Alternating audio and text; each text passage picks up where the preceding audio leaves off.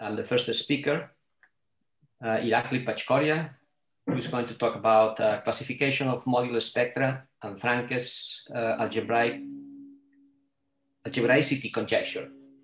All right, thank you very Please. much. Uh, thank you very much. Uh, let me know if you can't read my handwriting or will be something will be slow with my technology. We, we can try to fix it. Uh, this is all joint work with um, Piotr Pstrągowski, um, and uh, I'm not sure he could make it this morning because he's in America and it's probably some crazy time for him.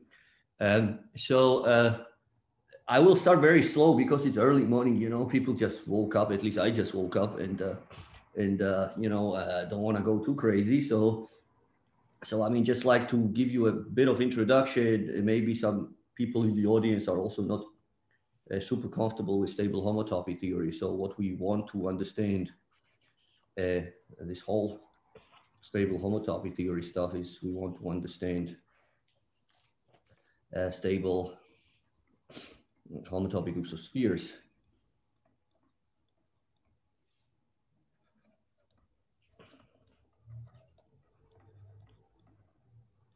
And uh, what are these? I mean, these are just a colimit of unstable homotopy groups when n goes into infinity for higher and higher with higher and higher suspensions. And, and so pi L of x is, of course, the L homotopy of the space x. Okay, and just to show you how complicated these are, uh, maybe just draw first couple of homotopy groups here, you know, uh, to make sure that we understand a bit what's going on. Let's see if I remember. I, I wrote down some of them, you know, uh, from my, I remember them until maybe maybe eight from my student times, and then I don't remember any of them. So this is uh, up to eight. So here it's Z, here it's Z mod two, that's the Hopf map. Here it's Z mod two, which is Hopf maps squared. Here it's uh, Z mod 24, that's the second Hopf map, or third actually, uh, the quaternionic uh, Hopf map. And then there's this funny thing happening that fourth and fifth homotopy groups of spheres are, are uh, trivial.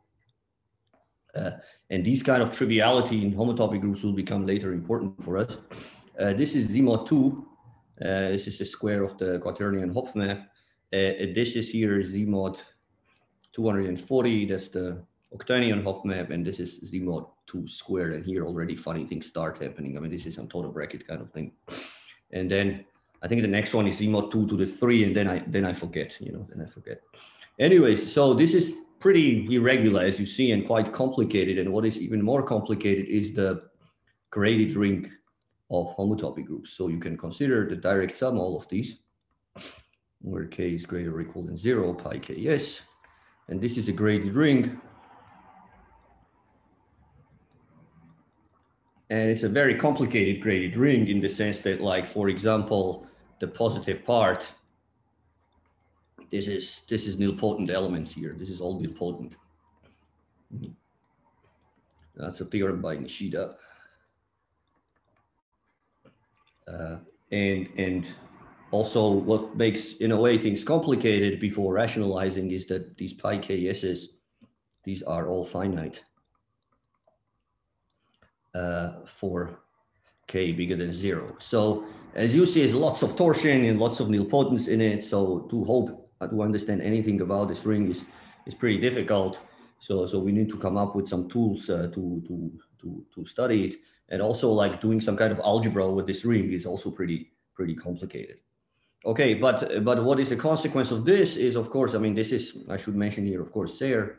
Uh, uh, the, the result of Serre also implies that if you take rational homotopy groups, if you just take uh, the rational homotopy groups stably, then uh, then this is just Q when star is zero and, and zero else. So there is a huge uh, difference if you work rationally or if you work integrally. But what's going on in the middle is of course uh, of course a question, and, and and that's something maybe we can address a bit today. Okay, so now uh, these are not really computed, and people have made some good progress in computing these things in, in various ranges, but of course, like totally computing this thing is unreachable goal at this point. I think like the recent progress by Isaksen, Wang, and Jolie, uh, who uh, these uh, these uh, show that like I mean we can go pretty far up, but uh, you know uh, it's still still like I don't know they computed it until 90 or something like that, at least to locally. And uh, and uh, I mean in general these computations are pretty difficult. Okay, so to study these homotopy groups, uh, we can use uh, cohomology theories.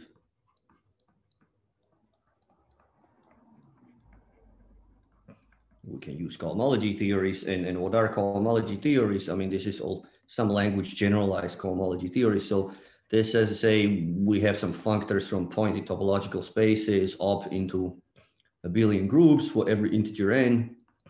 And I mean, these satisfy some axioms. Uh, and I don't want to list these axioms. I mean, everybody has their favorite set, but like long exact sequence might be a Torres homotopy axiom and, and, and, and and whatever whatever the other set of axioms you like and uh, you want to have. So uh, and and so examples, of course, examples, of course, that we care about in this talk are say singular cohomology, right here HN. Uh, then uh, complex K theory. These are real and uh, complex, so these are topological K theory. And various Bordism spectra. Uh, so uh, in this talk, they will also become important. Complex Bordism, real Bordism, maybe oriented Bordism. Uh, these are all cobordisms, sorry, cobordism. Because I'm talking about cohomology theories. Okay, um, and uh, yeah, so I mean, then there are of course the TMF and these kind of things as well, but will not say much about TMF in this talk, so maybe I shouldn't really mention them. Uh, uh, so now, of course, some of these things are extremely useful for uh, calculations. For example, complex cobordism, or actually its homological version, complex bordism, is useful for computing these homotopy spheres. And for example, one of the examples of this is, of course, the Adams-Novikov spectral sequence. Novikov spectral sequence. Based on mu star. Uh, I don't want to write it out. Uh, it computes these homotopy groups, at least up to extensions and up to differentials. Okay, so now uh, this is uh, what we want, but like now we want to actually um, switch to the world of spectra where all these things actually live. So just to quickly motivate it, so what Brown tells us that any of such cohomology theories are actually representable. So, so this En E star is representable. Uh, and, and how is it representable? So, so if you take En of X, and I mean, like, of course, I'm going to be very sloppy here about some technical details, maybe pointed, unpointed, whatever, all these things, but I'm, I'm working right now in pointed spaces. So, so there exists some spaces En such that this cohomology theory is is is maps homotopy class of maps from the X into En. So like often this En can be like if this is singular cohomology theory, then ENs are Eilenberg-MacLane spectra. If, for example, this is K theory, then these are some kind of things like Z cross BU and U. Uh, uh, anyhow, so we have suspension isomorphisms for this cohomology theory. And what these suspension isomorphisms kind of correspond to, which is a bit of cheating because here this applies for some CW complexes and these are typically not. So you need to be a bit careful here, but this corresponds to a map from En to loops uh, of En plus one. Some kind of Yoneda argument. And, uh, and this is an equivalence. Okay, so and all in all, what you get is the map from suspension of En into En plus one for all n. Uh, and maybe, if, I mean, this actually works for every integer, but let's take here n greater or equal than zero. Okay, good. And so here is the definition you come, and this is probably the, the, the only definition I will really make in this talk. So uh, a spectrum uh, is a sequence of spaces.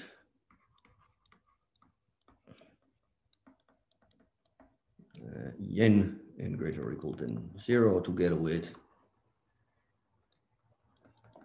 maps uh, suspension of en into en plus one. Okay, and so immediate example is of course the sphere spectrum is the sphere spectrum because we have the sphere, which is the sequence of spheres. Uh, and uh, suspension maps are of course the homeomorphisms from the end suspension of the, from the suspension of n sphere to the n plus first sphere. Here, these are homeomorphisms. In general, these do not have to be homeomorphisms. But why are these maps good? These maps are good because if you give me now a spectrum E, let's denote this kind of thing like E. So if E is a spectrum, then of course you can define the, the Kate homotopy group of the spectrum E to be the colimit of pi k plus n en, where n goes to infinity. And you can use these maps here, these maps here to define here the structure maps. And I don't want to go into details. And this also generalizes, of course, then generalizes, of course, the stable homotopy groups of spheres. Generalizes pi k s we defined, we defined above. Okay, so now uh, I want to consider the category of such spectra. So SP is the category of spectra. And uh, now, depending on who you are, either you want to consider this as a model category or maybe just one category. You don't want to do any homotopy theory. I don't know.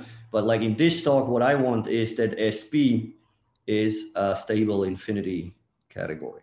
It's a stable infinity category of spectrum. I, I mean, I will not go into technical details of, of any of this, but but just that we are on the safe side and working rigorously here. This is the stable infinity category of spectra.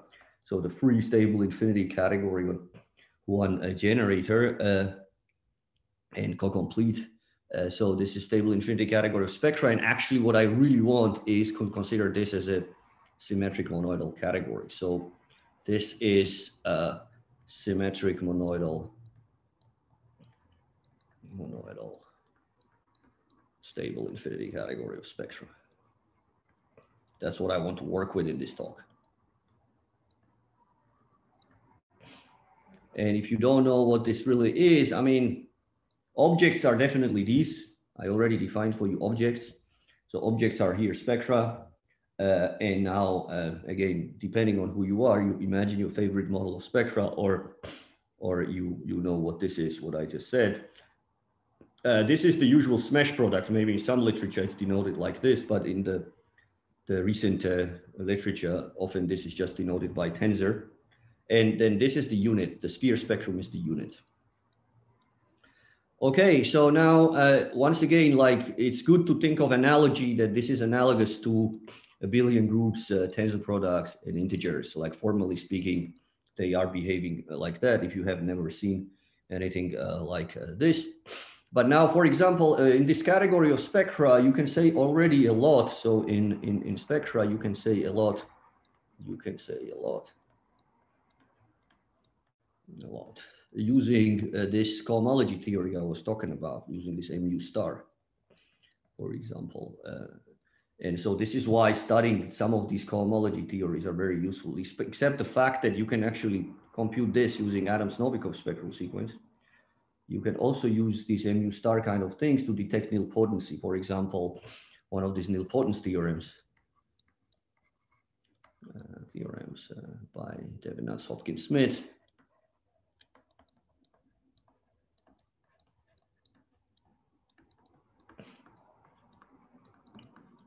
Uh, tell us, uh, sorry, there are some, some questions here in the chat. Uh, Uh, uh, there is a question if we should require the maps to be uh, equivalences. I mean, yeah, I mean, sure, if you do, if you do uh, these in terms of uh, like infinity categories, then then mostly you just want to directly consider omega spectra. That is right, but uh, you know, in some literature, you just consider things with these maps, and I mean, then these kind of things are sort of vibrant things in model category world, but in the infinity world, maybe they are not. Um, sorry, I, some technical issue here now. I have here some, okay, now I solved it. Yeah, uh, but you know, I don't want to go into these kind of details because this is just very quick introduction here, what's going on, and then I'll switch to something where this is going to be relevant. So, but you are right, of course, yes. Uh, right, so now nilpotence theorem is something like if X is a finite CW complex, what you can consider is you can consider self-map of this thing from large enough suspension of it in itself in the inside in the in the category of spectra or actually in the homotopy category of spectra uh, which is just category of spectra together with uh, same objects but with uh, with homotopy classes of maps. And now uh, f is nilpotent f is nilpotent uh, is implied so maybe I should say like this, if mu star f is zero, so if it induces zero on complex cobordism, then this implies that f is nilpotent. Uh, so if you self-compose f with large enough suspensions, then, then at some point after finite many steps, you will get zero. So that's why studying these kind of cohomology theories is sort of very, very useful. Okay, so now uh, in the case of abelian groups with tensor products, we can also consider things like these, right? Uh, and if you look at things like these, uh, which satisfy associativity and unitality, these are rings. And what I really want to consider is, is, is rings in, inside, inside here, inside the category of uh, spectra. And so here is another definition. Uh, ring spectrum in this talk, which is the same word for for me in this talk, E1 ring or A infinity ring, whichever terminology you prefer, uh, is a monoid. Let me here check out some more, some more comments in the chat. Right, that's right. So if the, the adjoint maps are equivalents, the, those are called omega spectra, right? Good. Uh, ring spectrum is a monomorphism. Uh, sorry, Jesus sorry, uh, a ring spectrum uh, is a is a is a monoid in uh, writing too many monomorphisms yesterday. Sorry. Uh, so a ring spectrum or E1 ring or a infinity ring is a monoid in this uh, in this category. So so what that really is is that this is a spectrum E uh, together with this multiplication and the unit map and this satisfy all the uh, unitality and associativity coherences, you know, coherence data. I mean, of course, when I write monoid in here, of course, I mean, in terms of like, say, infinity categories or model categories, you can define a model structure on this thing and then consider this type of ring spectra, whichever model you prefer. But uh, the things I really care about here is, of course, uh, several structure that this thing comes with. So the first of all, if E is a ring spectrum, I mean, another model is, for example, the symmetric ring spectra or orthogonal ring spectra if you want, but I don't want to go into that. Okay, so if is a ring spectrum or E1 ring, then, then what you can consider, you can look at uh, some of these homotopy groups, which I defined for you above, which I will denote by pi star E. And this is a graded ring. This is a graded ring.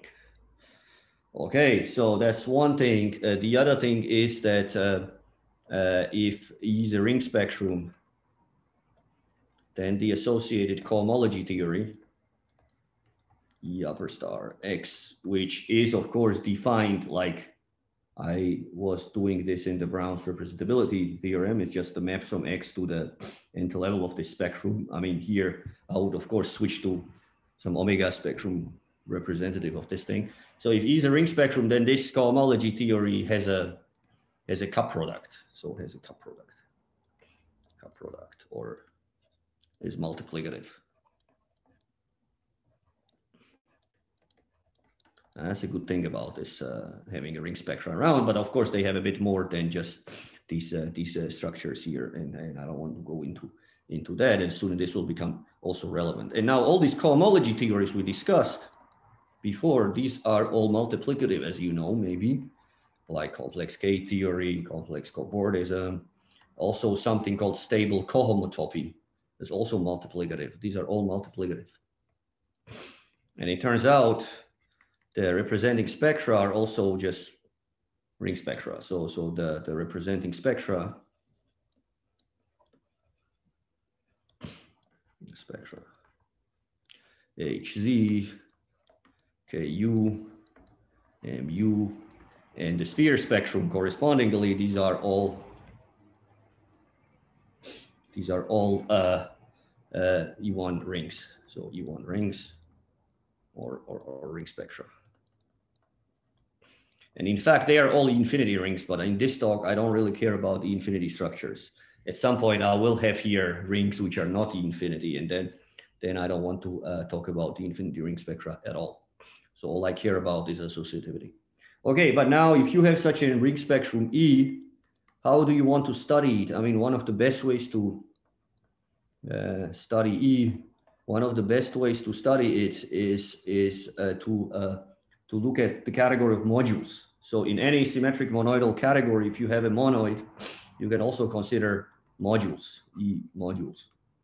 And, uh, and this is, I mean, officially speaking, this is of course an infinity category of modules I care about here, infinity category, stable infinity category uh, of E modules. But again, you can define it in whatever way you want. And so often in order to understand this, you switch to homotopy category as well. So this is just uh, the, the same, same objects as yes, mod, but uh, with morphisms being homotopy classes of maps. Homotopy classes is morphisms. But technically speaking, maybe this is again a bit, you need to be a bit more careful here, but, but yeah, so that's, that's, that's what I want to study. Uh, so, and now if you consider example E is equal to S, then of course S modules, because S was the unit of the symmetric monoidal structure, this is just the category of spectra itself. And this is again, very complicated. I mean, it's very complicated. I mean, studying this is basically studying stable homotopy groups of spheres and, and even worse because this is even bigger than just maps from sphere to itself. But on the other hand, if you take E equals to the rational sphere, so this is the rational sphere spectrum, then things are very easy.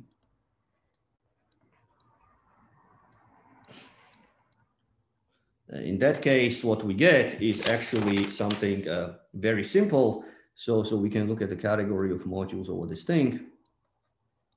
I mean, this is again a ring spectrum. I maybe should say this as well. So this is equivalent to the rational spectra. So rational spectra.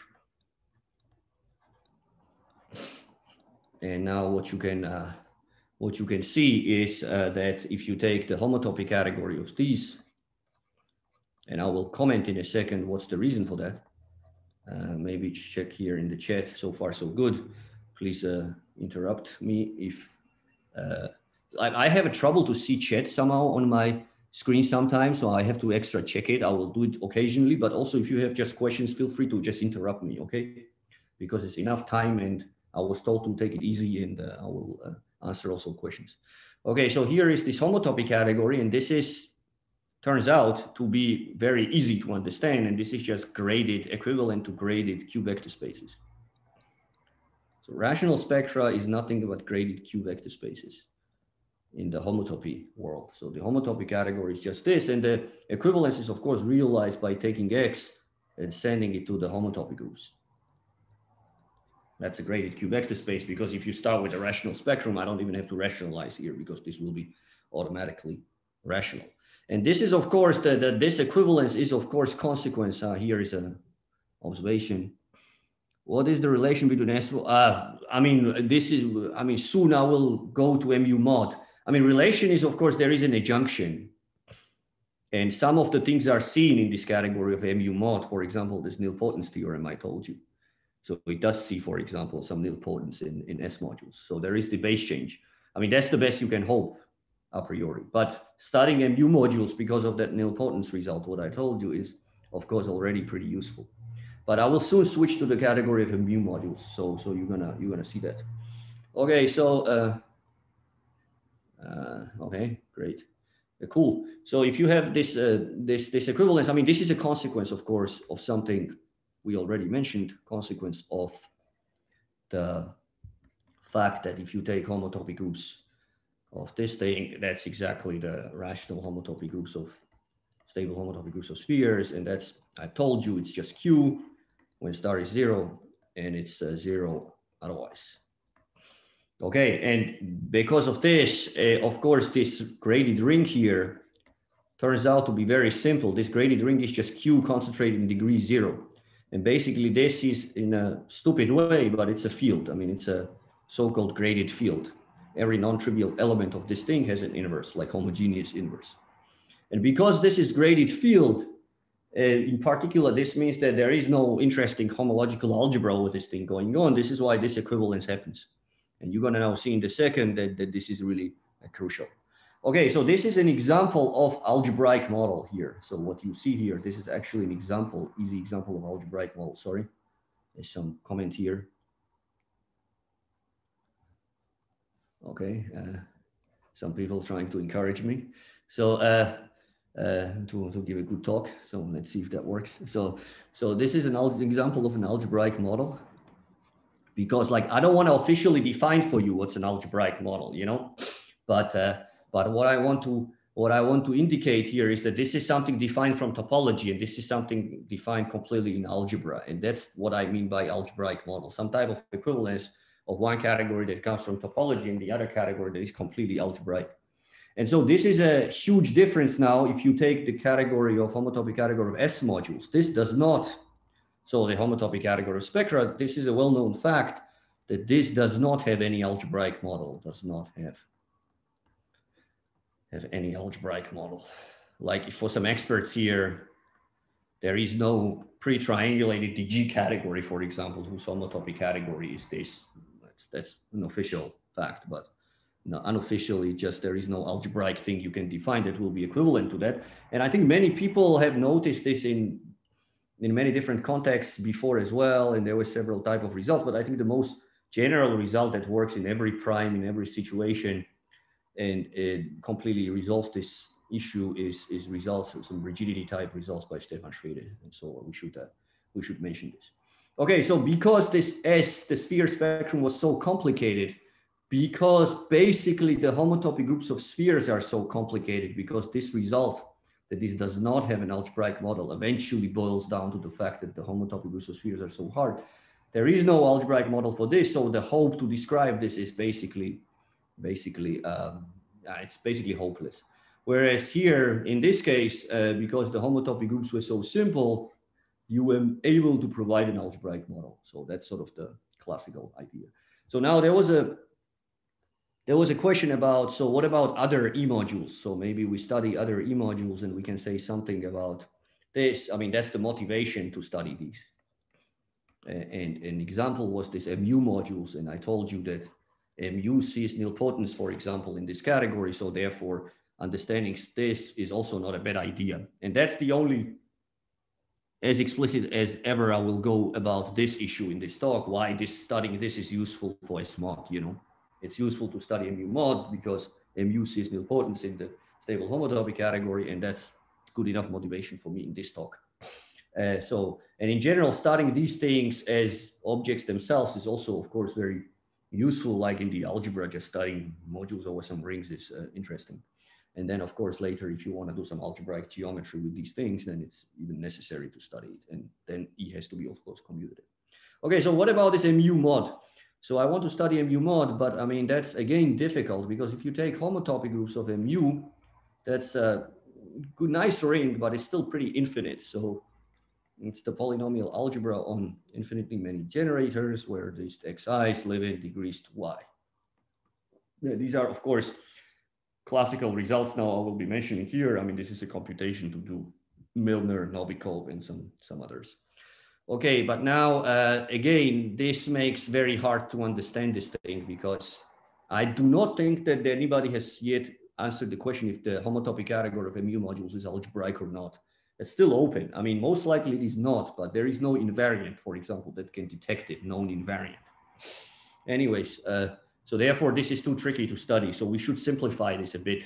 So how can we simplify this? I mean, using theory of formal group laws, formal group laws. Uh, uh, we can do some things like, for example, Quillen uh, did uh, some deeper observations here uh, based on some algebraic results by Cartier and then some, some, some others.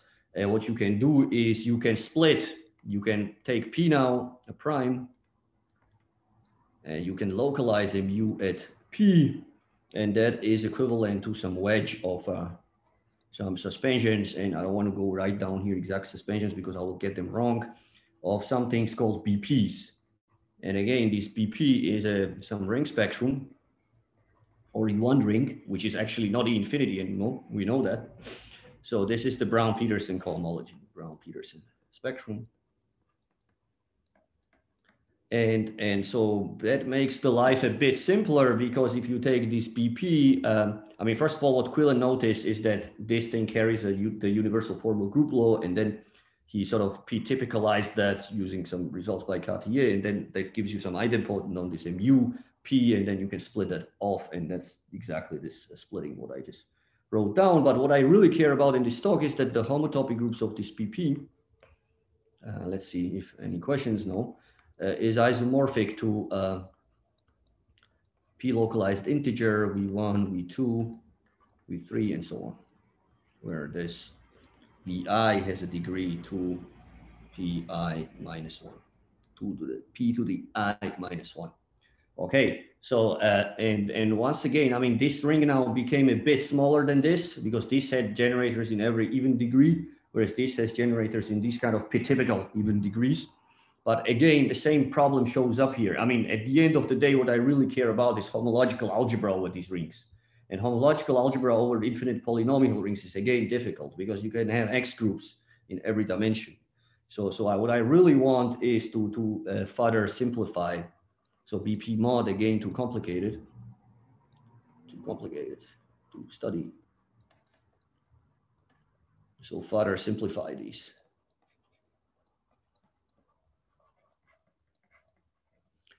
And so now we still do the standard procedures. There are many ways of doing this, but of course, because this is a talk, so I need to be a bit, a bit quick. So what you can consider is, for example, you can consider, you can truncate, truncate BP. And there are some procedures to do this. So for example, the thing I want to consider today a lot is this BPNs, where, where um, here, I should mention that this is again a, a, ring spectrum and here maybe some names because the first people who really put some E1 ring structure on this is Baker and Lazarev, I think, and maybe some others. I mean, the names in the history, I'm always forgetting some names, which is bad. Uh, so what we care about this thing, this is a truncated version of this BP, which is basically, I mean, one way of defining this thing, maybe you can write it like that. So BP and then killed all the generators after Vn plus one. You can write it like that, or I can show you what the homotopy ring is. It's just isomorphic to ZP, uh, V1, V2, and V3, and so on. Okay, so that's uh, BPN. What you can also consider is uh, you can consider ENs, uh, which are also ring spectra uh, or E1 rings, uh, which is obtained by localizing the last, uh, inverting the last uh, generator of this. Oh, sorry, here, of course, Vn. Somebody maybe already point this out in, in the chat. No. So it stops at Vn, of course, this BPN. I truncated. Yeah, sorry for that. And so now this, of course, has homotopy ring being isomorphic to similar thing, but the last generator inverted. And again, there are procedures of doing it. I mean, inverting a generator is not a difficult procedure if you have an, any type of high uh, coherent structure like E1 ring, for example, this stays in E1 ring. And so this is what is called the Johnson-Wilson theory. So Johnson-Wilson theory. Uh, okay, so and and again, like I fixed the prime at the beginning, and all these things are of course that fixed prime. I mean, actually the notation should also include the prime and comma p everywhere, but traditionally the prime is suppressed because we always assume that we are working on this implicit prime. Okay, so and now uh, these are E1 rings. And then yet, yet another E1 ring I want to consider is that if you take the En and you kill the regular sequence P, V1, V2, and so on, Vn minus one. And that's what I want to denote by Kn, and that's the Morava K theory.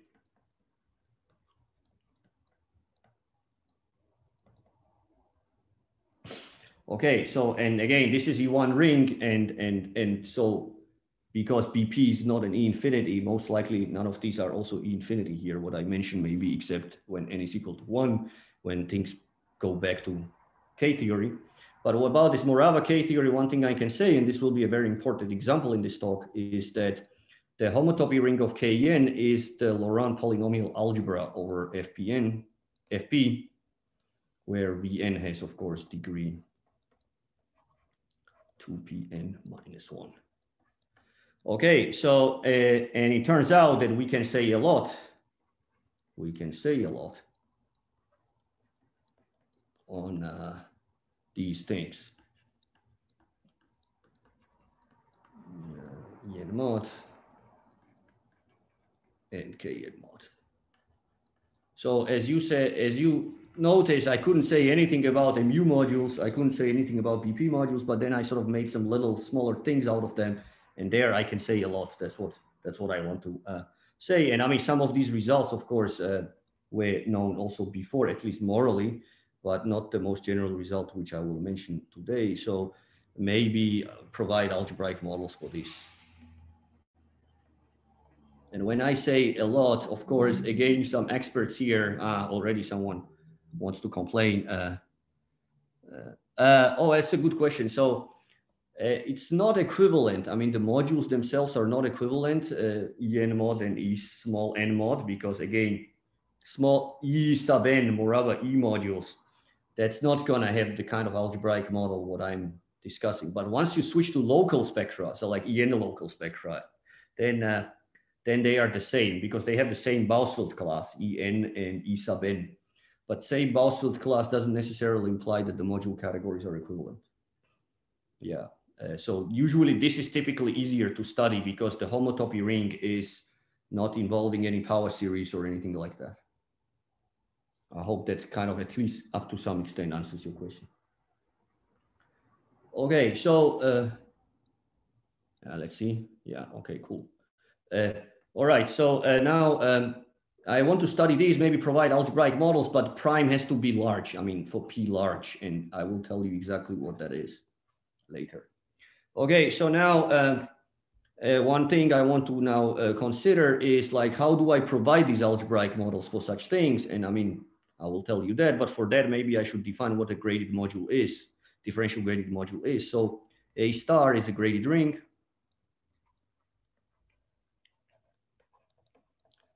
A differential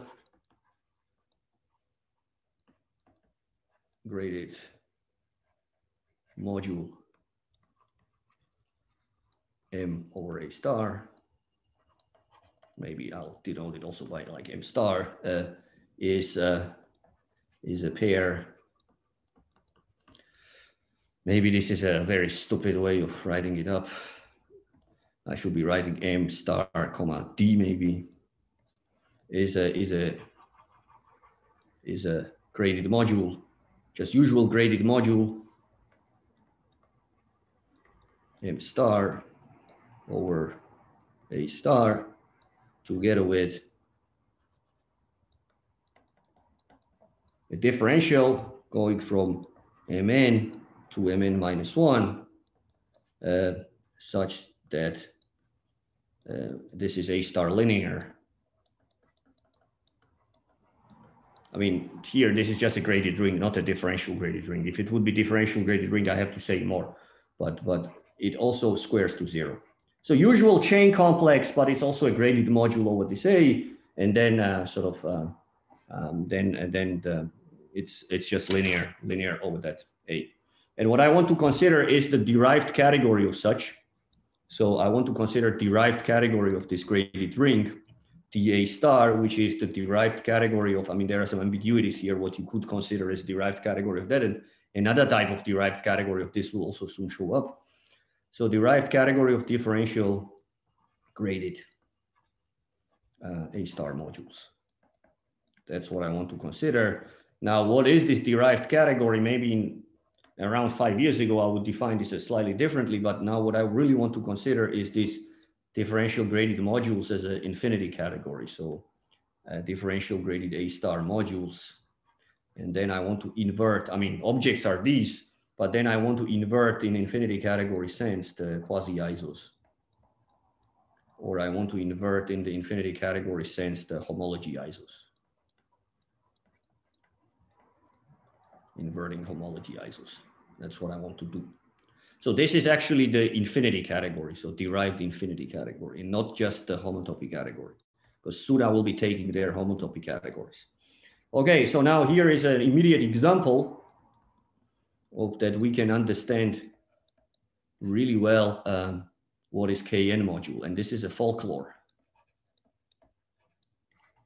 Folklore. It's a bit of a folklore result here, uh, which says that if you take the homotopy category of Kn modules at any prime, and recall the Kn was this Morava K theory with having these kind of homotopy groups. I mean, there are many ways of defining this also using formal group laws, for example. Uh, it turns out that this is equivalent uh, to the homotopy category of the derived category, which is an infinity category, something algebraic, of its homotopy ring graded homotopy ring. So in other words, this is equivalent to something very simple, but it turns out that this whole thing is also equivalent to graded vector spaces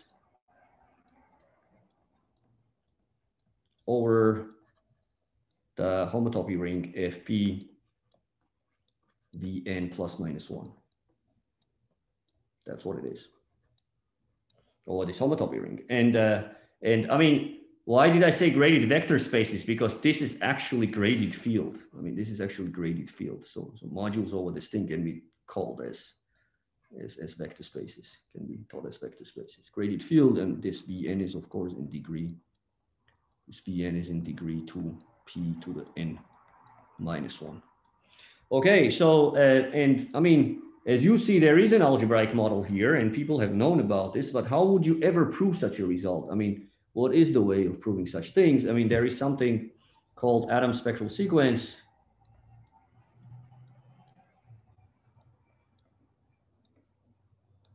or universal coefficient spectral sequence, whatever way you prefer to call it, which says that there is a spectral sequence for any E ring spectrum.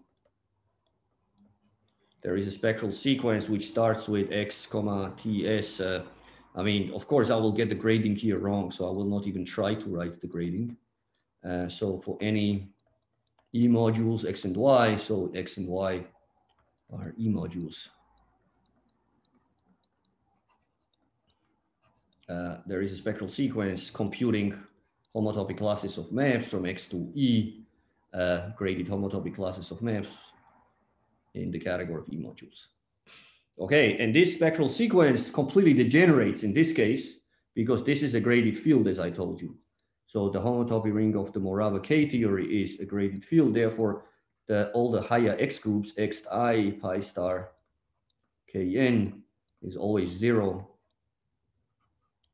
for I positive. Okay, so and, and this as a consequence implies, of course, that that that uh, homotopy classes of maps from X to Y in K and mod using the homotopy groups is of course isomorphic to the hom of homotopy homs in the in the graded modules. Pi star Kn. And this is the way to actually obtain this uh, this equivalence. So as you see, I didn't say here anything anything new.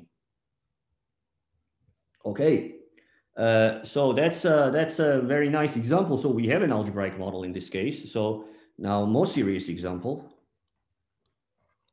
more serious example is uh, uh, the KU, complex K theory, complex K theory. Why is this more serious example here? The homotopy ring is not anymore a graded field. So you can take homotopy ring of Ku and that's the Bott periodicity.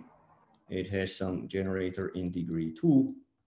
U is degree two, it's a all-round generator. And in this case, it turns out though that it's still true that the homotopy category of Ku modules, ah, some observation in chat. Uh, no, the homs do not have E-module structure. I mean, this is not a commutative ring a priori. I don't want to consider, I mean, yeah, sure, because, okay, like homotopy ring itself is commutative. I could consider E-module structure, but no, I, I want to consider E-star linear maps on this hom. So I do not care about uh, whatever linear structure this has. I want to think of this as just graded abelian groups or just abelian groups in this case, yeah. No extra linear structure on these. Okay. Uh, question. Yeah. Sorry? There's a question here in the, can you Check. see that? Yeah, I mean, I answered this question, I think. It was about the, the computing E-module structure. Uh, I think that structure is, yeah. He's asking if spectral sequence only computes homotopy classes of maps X to Y in moduli structure. Yeah, so so what I what I answered is that this spectral sequence just computes this as a as a as a as an abelian group as an abelian group. I I did not say that it computes anything as a as any kind of module structure extra or something. Just as abelian groups. Mm-hmm. I don't mm-hmm. want to consider any extra structure on these things. Mm-hmm. I hope that answers the question. Yeah, thank you. Yeah. Okay, let's see. Okay, cool. Great. And now this, this next example tells, tells us that the homotopy category of KU modules is equivalent also to homotopy category of the derived category of its homotopy ring. This is still true. And, and why is this true? Uh, the reason now is not as easy as before. Like here, the spectral sequence was completely degenerating. Now, in this case, the spectral sequence uh, turns out to be the universal coefficient theorem. So if you have X and Y KU modules, you can consider the universal coefficient theorem.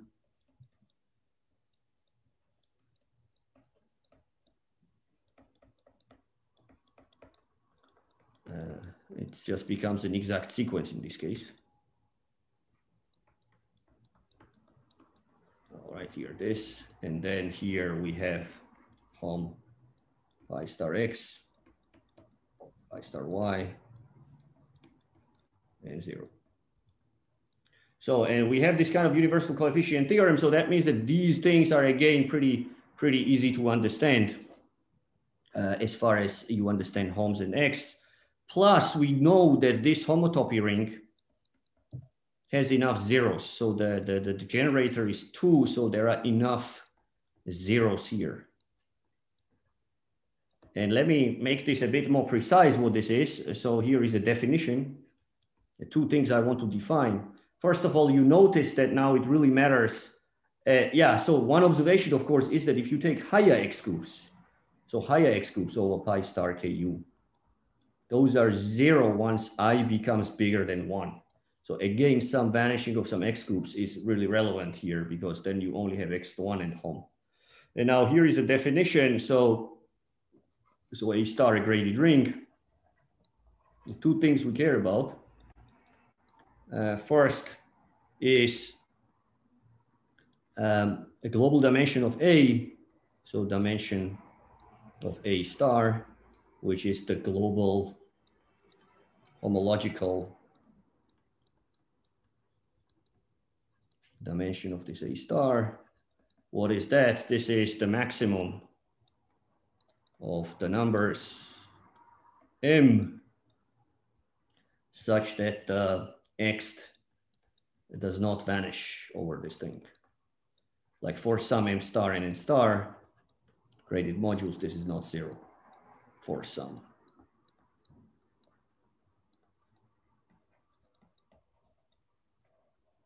So it's the maximum of those uh, M's such that there is some non-vanishing Ext group. That's the one thing I want to know. And the other thing is that I say that A star is Q sparse for some number Q if uh, A n is zero, unless n is congruent to zero modulo Q. So if everything is zero in this n, A, A, all those numbers are zero, uh, which all those ANs are zero for numbers which are not divisible by Q, then I call it Q sparse. And the, in this example here, this ZU ring, this, this ring here, has, uh, for example, dimension one, as dimension one, and it's two sparse. It's two sparse because, uh, because this is in degree two. And so what is really important here to conclude this result, very important thing here is that one is less than two. So the fact that one is less than two is a crucial thing to prove this, uh, this equivalence here. So one is being this dimension one and two being this two sparseness. And then this is less than this allows you, first of all, to uh, not just use this universal coefficient theorem, but also split these modules. And once you split these modules, everything can be described in terms of matrices. Therefore, the result, the fact that this Q is bigger than dimension is really, really crucial. And now here we arrive to the general theorem, which is, uh, which is uh, joined with uh, Piotr Pstrągowski.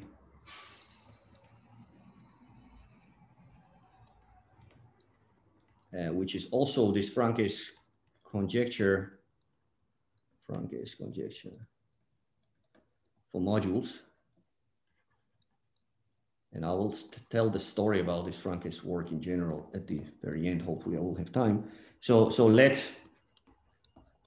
R be uh, a E1 ring or a ring spectrum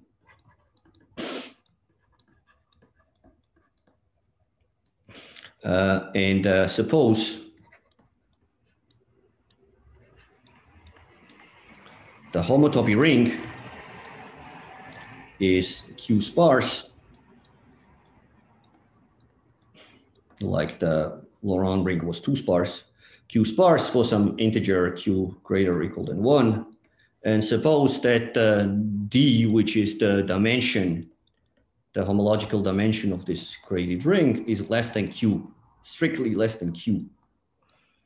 Uh, then homotopy Q minus D category, and I will say exactly what this is.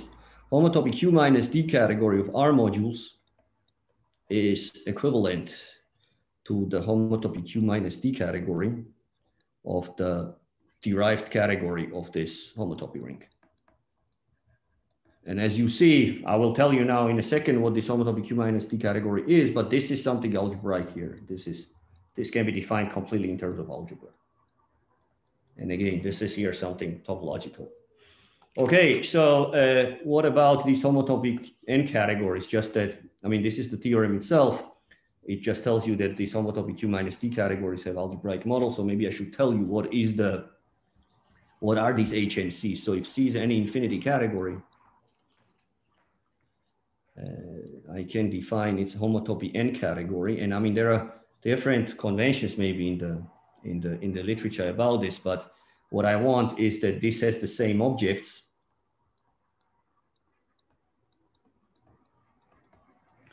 And the mapping space is in here.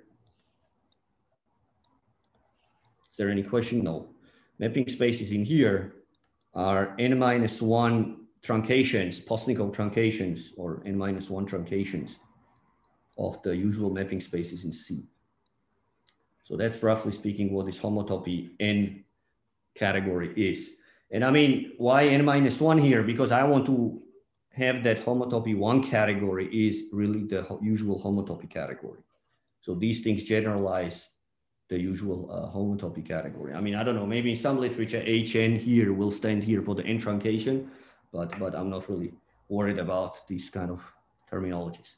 Okay, so in particular, this provides an algebraic model for the homotopy category as well, because Q minus D in particular at least one So in particular, you can say that homotopy category of R modules here is always equivalent to the homotopy category of this derived category. But it says even more. It says way more than just this, at least in most of the cases. Now, this theorem is optimal. Uh, this inequality here cannot be made any better. So, and here is an example of that. Example again, we go back to Kn modules. So now, just before I say anything about the proof of this result, I want to uh, indicate to you uh, that there are many examples where you can apply this immediately. So um, you can consider again, R is equal to Kn. Now here, the homotopy ring was this thing, which was a graded field. And here the dimension is zero. So Q, uh, so D is actually zero. And this is less than Q is equal to two times Pn minus one. And this is exactly the sparseness, sparseness in this case. So because the generator, oh, something weird happened again here as often, yeah. Yeah, okay, good. Back again. All right, uh, so the, this is the sparseness. So so, so the fact that, um, that, that Vn is concentrated in these degrees tells you that this is quite, uh, quite sparse. Uh, and now this tells you that homotopy 2pn minus 1 category of kn modules. So our theorem says that homotopy 2pn minus 1 category is equivalent to homotopy 2pn minus 1 category of this algebraic thing.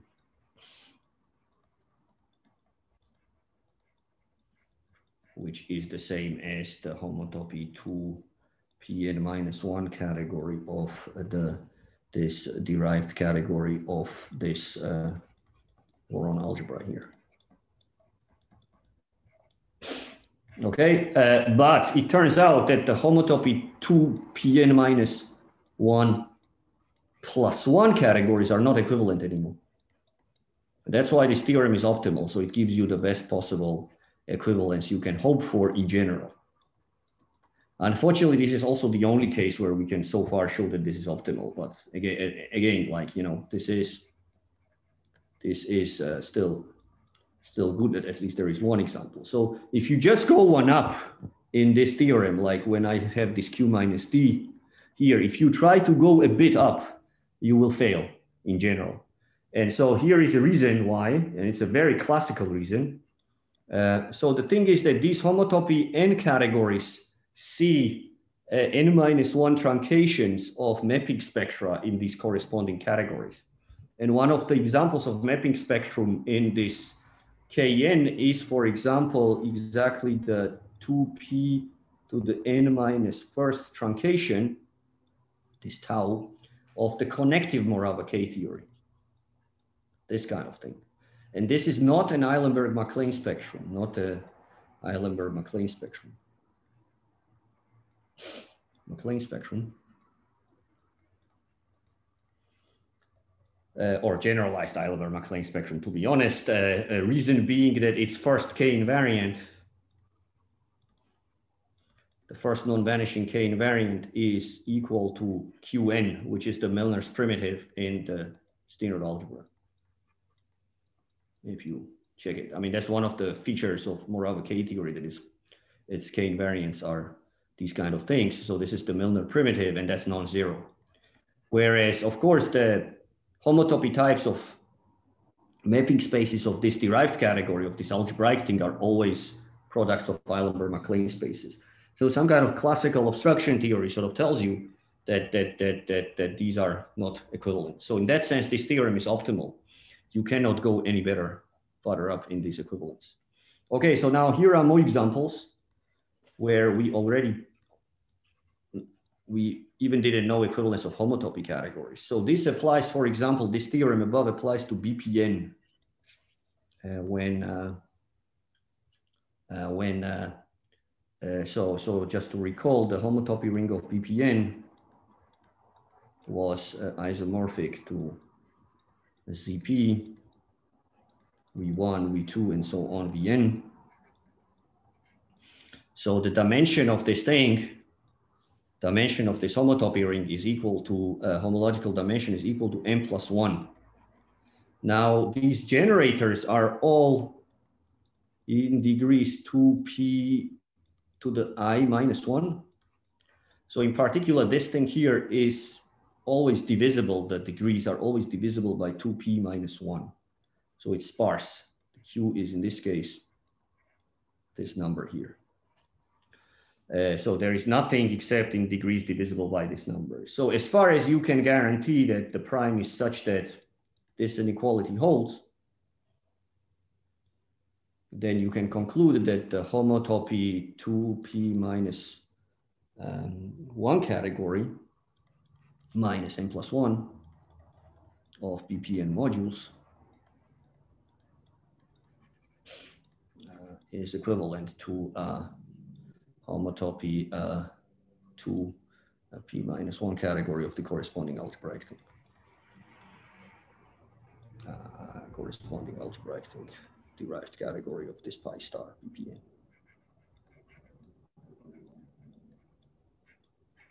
Okay, so now here it's not as good uh, in the sense that like if I go one up or two up, I cannot immediately say that the next ones are not equivalent because uh, there are some more serious obstructions are needed and we still don't know what these kind of obstructions could be to distinguish uh, these things.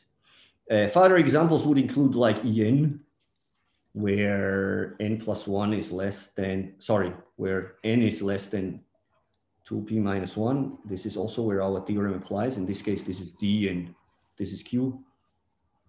Another example, which is a bit curious, is also KO, little KO localized at an odd prime P, P odd. Here, and in this case, uh, the dimension is equal to two and the sparseness is equal to four. Uh, and, and then you can conclude actually that the homotopy two categories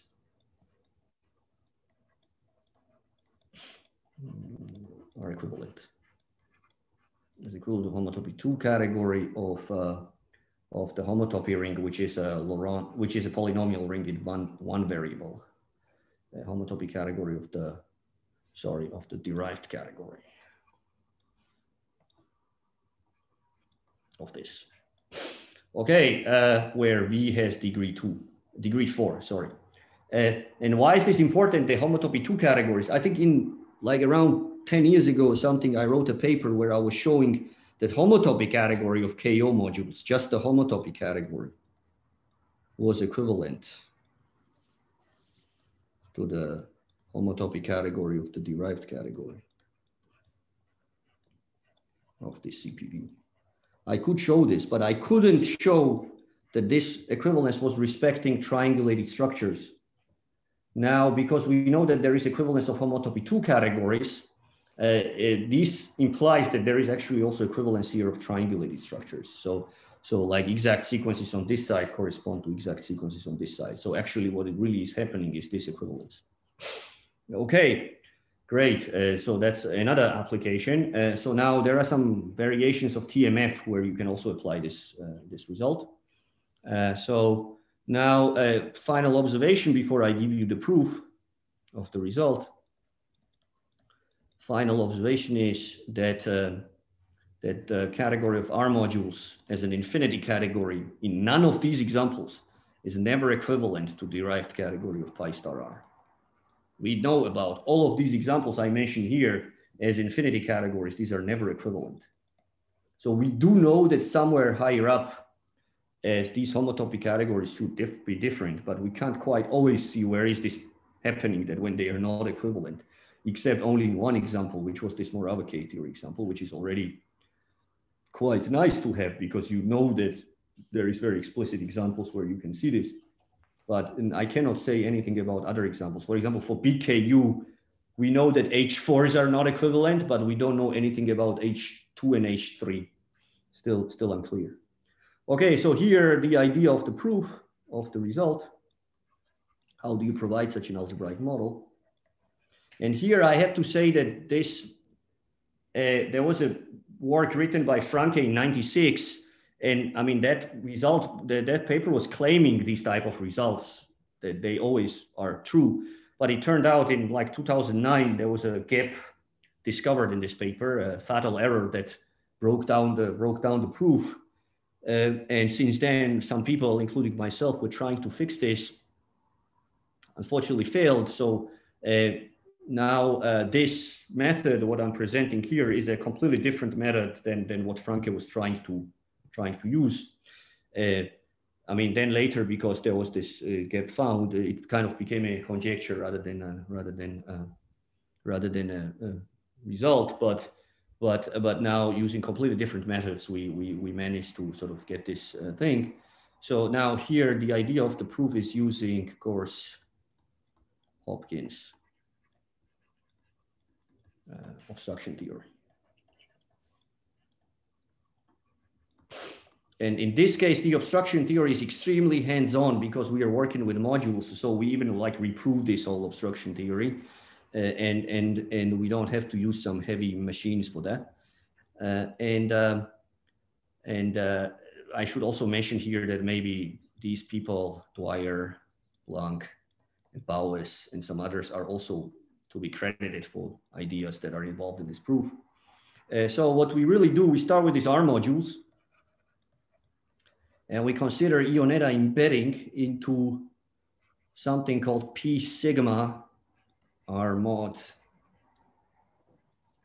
FP.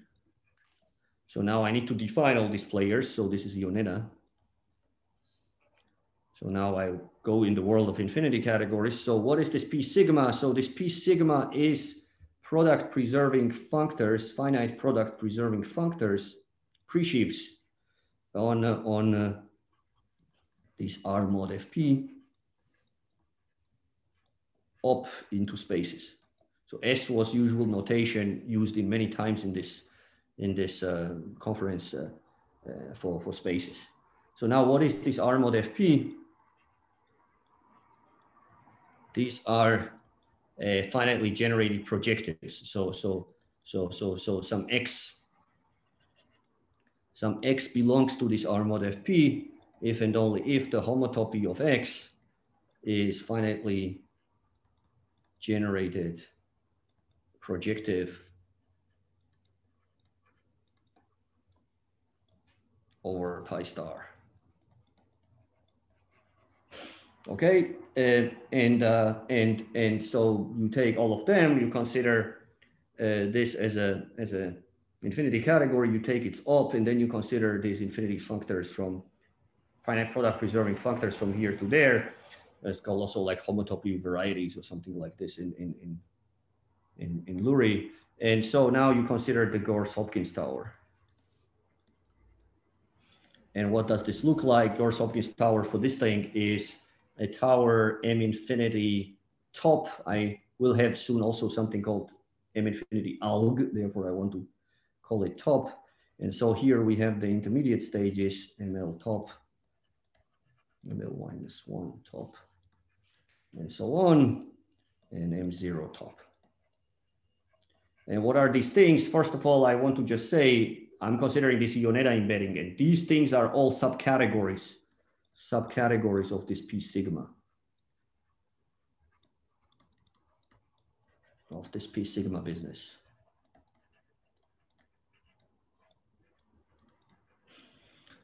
Okay, uh, yeah, uh, sorry. Yeah, right. Uh, now, uh, what is M0? M0 top is nothing but um, just pi star R modules. So graded modules. These are graded modules. This is very algebraic.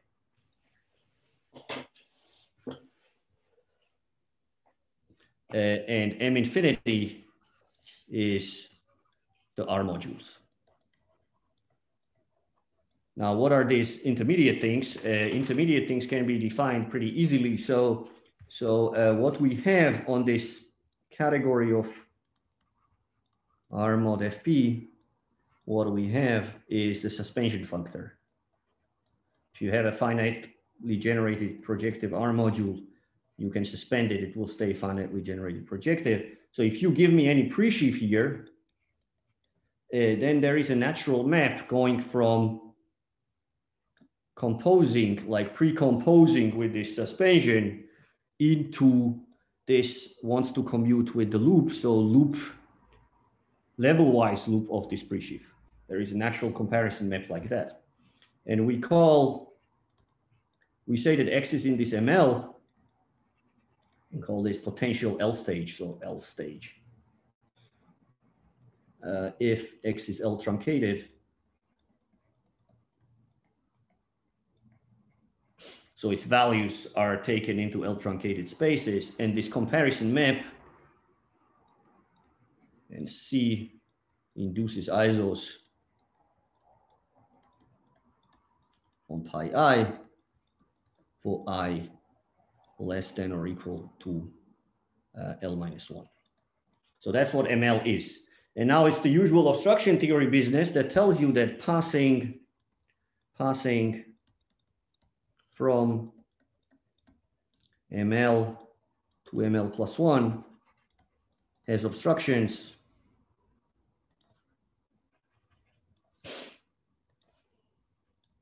Has obstructions.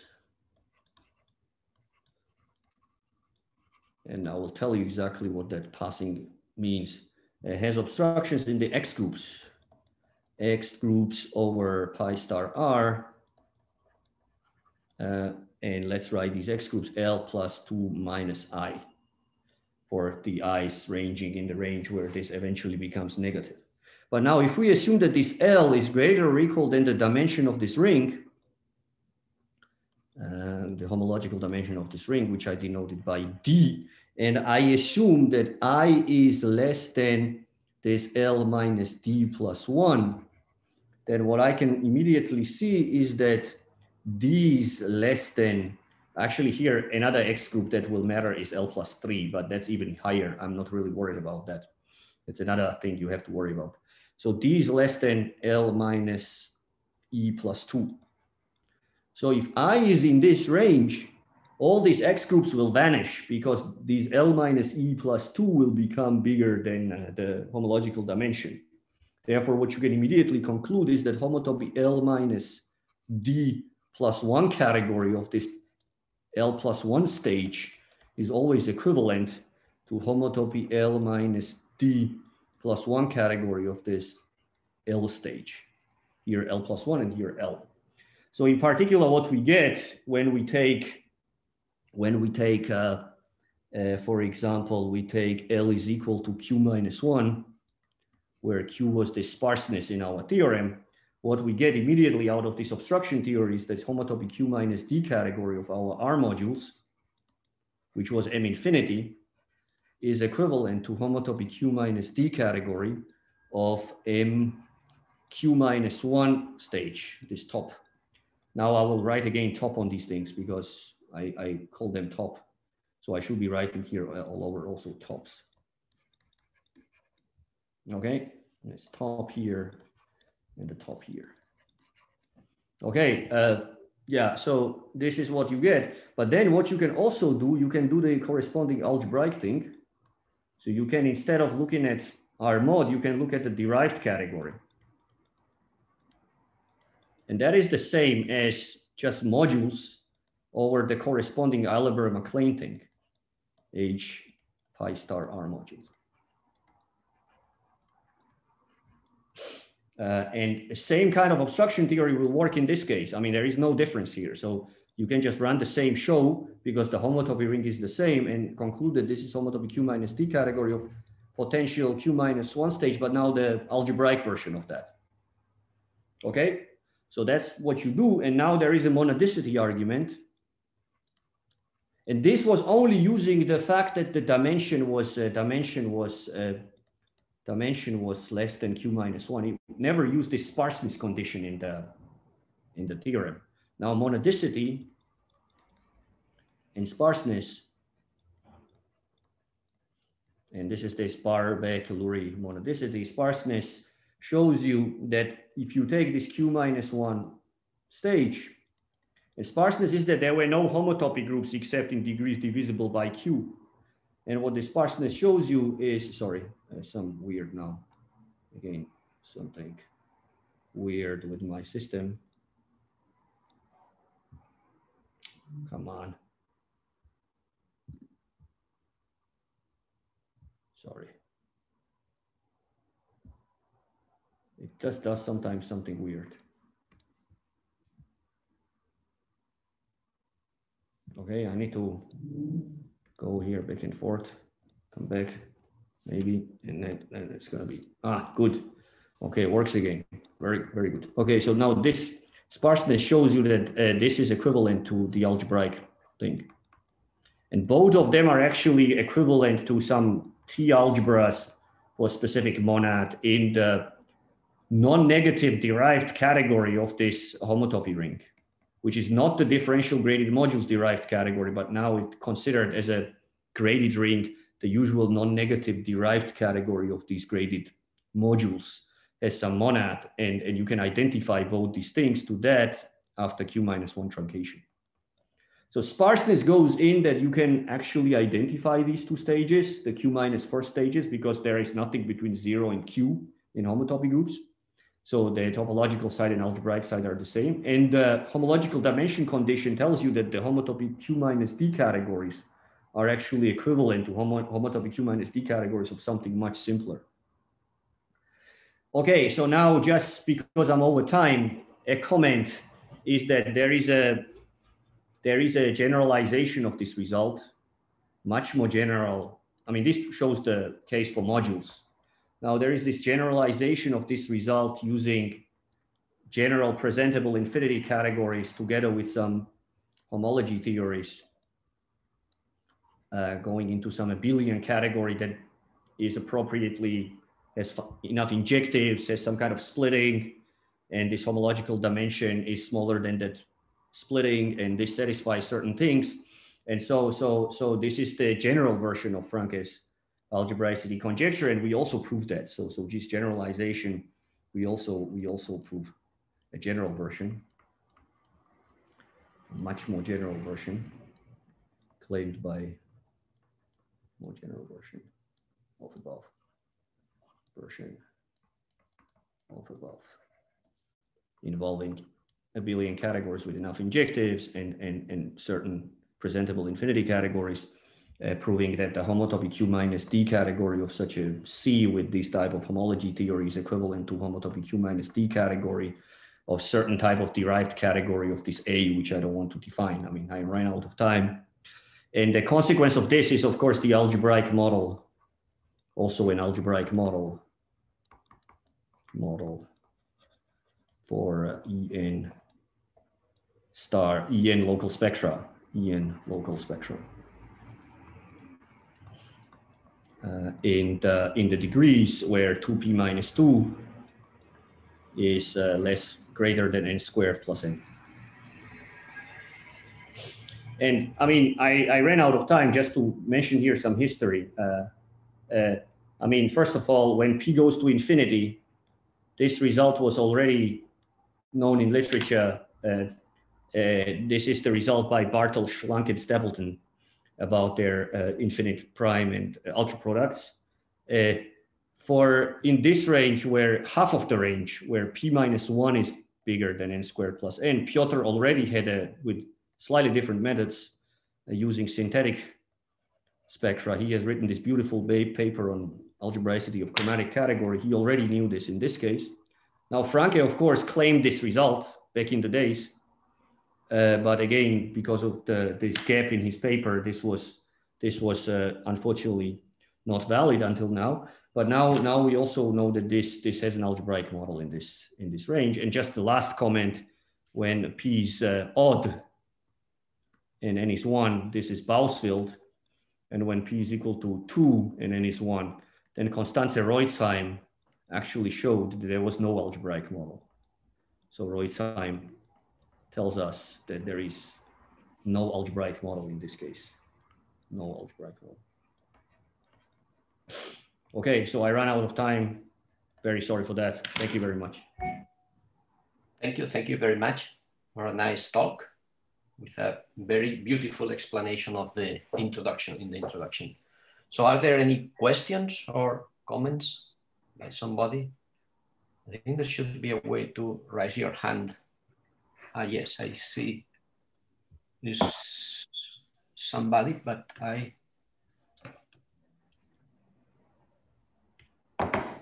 In the meantime, I, I, I can't see who is raising the hand in the system. Yeah, someone is already. No, please, please go ahead. Yeah.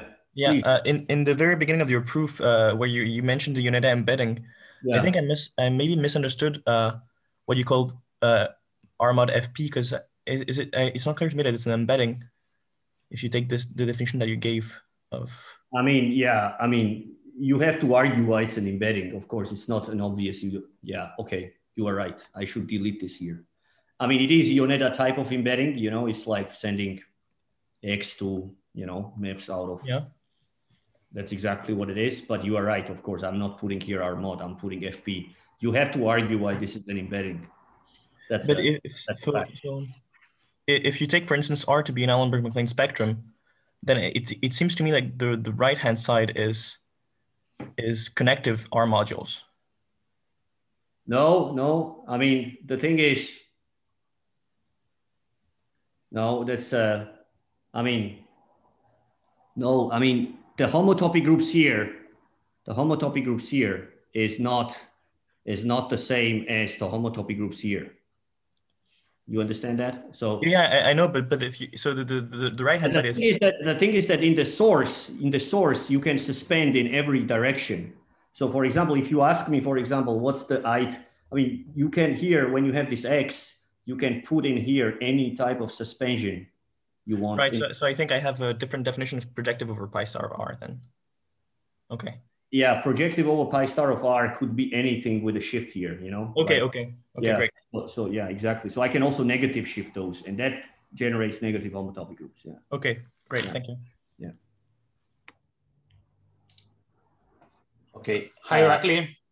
Oh, hi. Yeah, I had a question that maybe it's um, um, I don't know, very obvious or that. Okay, so you, you have these two truncated homotopy categories, Right. okay, that you show the equivalence. Yeah. So um, as infinity categories, are, are they formal in the sense that they don't have non-trivial k invariants in that range? Uh, I mean, I mean, yeah, I mean, I haven't really studied uh, K invariants in uh, the sense of like infinity categories for for for these things. You know, uh, uh, I mean, I mean, one one thing that is a consequence is that yeah. So if you take K invariance of mapping spaces if you take k invariants of mapping spaces. Like let's, I don't know what's k invariant of infinity category. I think people have written recently some papers about this. I think Jonathan and uh, and and and and uh, and Mathan and and uh, I forgot now. People have written, people have definitely written papers on this. Uh, but but let's take just plain mapping spaces. In that case, yeah, they will be they will be all uh, they will be all zero those k invariants because you have the, the, the mapping spaces on the topological side in these truncations. So these are these truncated mapping spaces. They're equivalent to corresponding truncated mapping spaces on the algebraic side. But those are Eilenberg-MacLane spaces. So all the k invariants will, will vanish for them. Yes, that is right. I was wondering because if you have the equivalence at the level of ordinary homotopy categories, and then the higher homotopy groups of these um, infinity categories coincide. So if you had trivial k invariants up to that level, it would be Yeah, I another mean, way of getting. This, this is the usual. This is the usual thing you want to try always. Yeah, I agree with that. But then getting all these coherences together, like the compositions being uh, compatible and all that, that's where all the problems are buried in. You know, like Sure. like, like I mean, all these, all these, like again, like these are two ring spectra. They have the same homotopy groups. So we can start just by looking at isomorphisms of these homotopy groups, right? And start to build back the the the, the some kind of quasi isomorphism between them or or whatever you want to try. And once again, like the problem is uh, stuck in the fact that, like for example, one side could have some Toda brackets, which you Yeah. don't see really on on on on the homotopy uh, on the on the homotopy groups is considered as additive things, or even on the on the homotopy groups of mapping spaces sometimes, you know. So so therefore, all this building in all these coherences for compositions is kind of the main problem what you have if you want to do this Well, the um, um, categorical k invariants of um, the higher categories, um, they do see the Toda brackets though, but okay, yeah. I mean, I am pretty sure that using categorical k invariants could say something here. For example, what it could help us to do is to say, see, for example, when these things are not equivalent, you know? Mm -hmm. Like you could try to like go up in this uh, tower and, and like I told you that the n plus first, like whenever q minus d plus first categories, for example, should not be equivalent in some example. Yeah, actually it was this tower what inspired my question in some sense because the tower, it looked to me somehow as if it had to do with a kind of passing of the composition. Um, it is, I mean, it is, it is related to that. It is related to that because I took, I took, uh, I took here also L truncated objects, but there is an extra condition which sort of worries about this map. I see. a bit more than just Postnikov truncations. Okay. Yeah. Okay. Thank you very much. Yeah, sure. Okay. Thank you. There's just a question on the on the chat waiting since uh, oh, yeah. okay. two minutes ago. If you want to have a look. I see. Uh, what's the relation between E mod and A mod and E tensor E mod, maybe comodule? Is there any example? I mean, uh, when you want to do comodules, yeah, so there's a different story. Like, like again, like some of our results also apply in this comodule case, but you can consider E mod uh, and you can consider E local spectra and and and these are a priori different, completely different categories. And and uh, these kind of E star E type comodule type things, those can be used to classify this. Like when I talk about algebraic models in this setting, for example, for E and local spectra, here I'm going to use comodules. Whereas whereas uh, these things are not really used in, in in in this case. So so it's not much really, if you do some algebraic model for that, it's not going to give you a model for this and vice versa. I mean, some similar methods maybe could use could be used, but here again, we were working with projectives, whereas here you're going to work with injectives. So that's the difference. I don't know if this answers your question, but yeah. Okay, thank you. I think we should uh, have a break now. And uh, so before that, we thank our speaker. and and we should have uh, at least 10 minutes break so let's say 11.15 to for the next uh, for the next talk 11.15